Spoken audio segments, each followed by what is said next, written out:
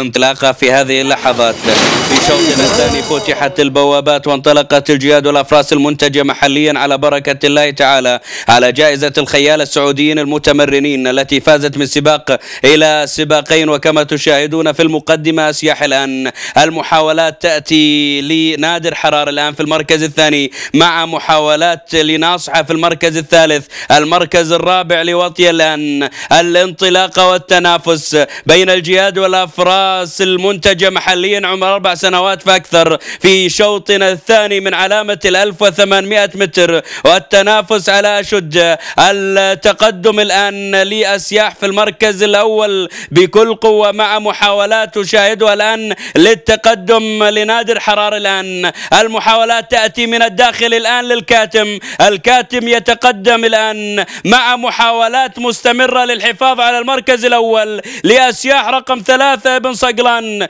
بقيادة عبد العزيز الفريدي في هذا الشوط ومع الاقتراب من المنعطف الأول في هذه اللحظات التنافس الثنائي الأبيض والأحمر الكاتم من الداخل وأسياح من الخارج المحاولات الآن من باشوت في المركز الثالث في هذه اللحظة المركز الرابع لناصحة في تقدم للمركز الثالث في هذه اللحظة المنعطف الأخير بداية الخط المستقيم والتنافس الثنائي بين الكاتم وأسياح في هذه اللحظات. المحاولات من الخارج لأسياح باشوت الآن من الخارج وأسياح كذلك. باشوت يتقدم باشوت يتقدم بقيادة نايف العنزي.